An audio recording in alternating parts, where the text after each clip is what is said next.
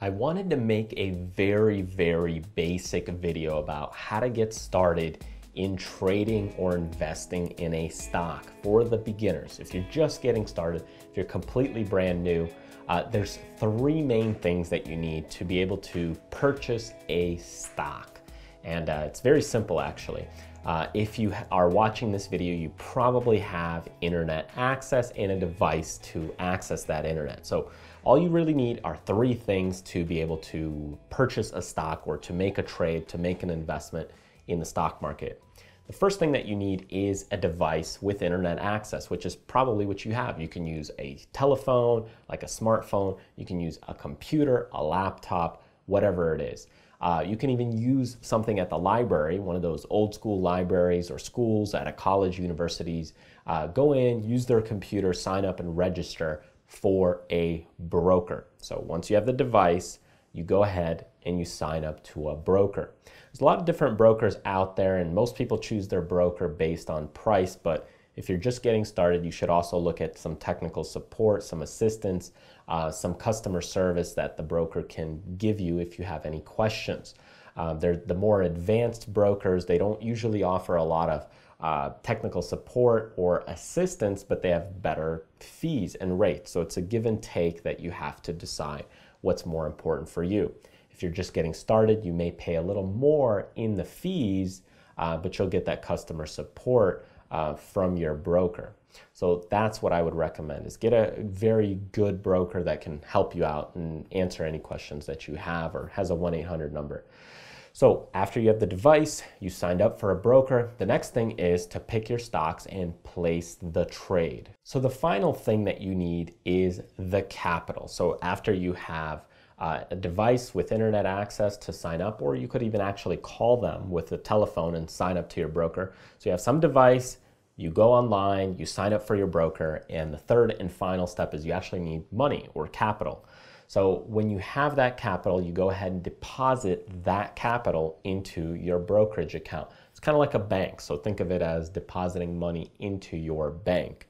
Once the money is in that brokerage account, or let's just call it bank at the moment for simplicity's sake, once it's there, you are able to use that money to purchase stock or purchase investments into certain equities and uh, investment classes. So, uh, depending on the broker, you can invest in Forex, you can uh, invest in options or trade options, uh, stocks, bonds, all kinds of different things.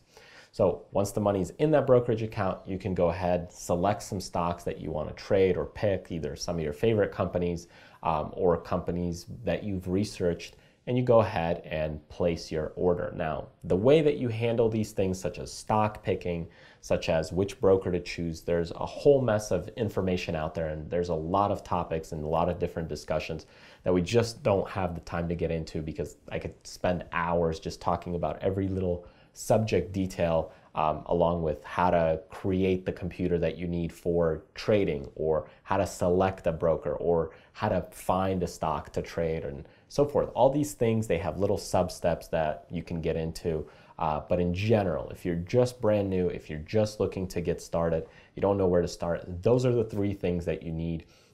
And if you have a, a job that you're attending, uh, just need a device, need a broker, have some capital to put into that broker, and then you select and choose your stocks to trade and go ahead and place the orders. So that's all there is really to it um, in terms of the things that you need. Sounds easy, uh, but in order to be successful, it is a lot more harder and more difficult uh, than just you know signing up to these things. But if you're looking to just put some money into, let's say, an ETF or a bond, uh, then once you have these things set up, then you go ahead and type in um, such as a bond or a certain stock, and you put your money in it, purchase your shares, and let it sit. You don't really have to go through all those mutual funds. You don't have to go through, uh, you know, an investment company that's going to show you exactly step by step on how to do that. Just go through that process.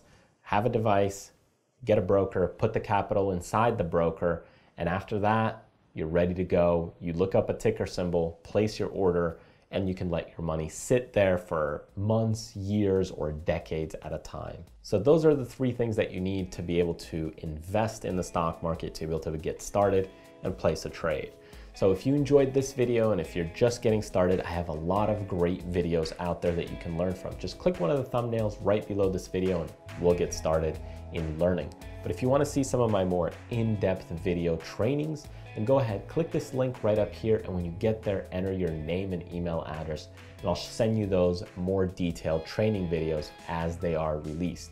And don't forget to check out some of my in-depth stock market training video courses while you're there on the website. Thanks again for watching, and remember to do what you love, contribute to others, but most importantly, live life abundantly. I'll see you next time.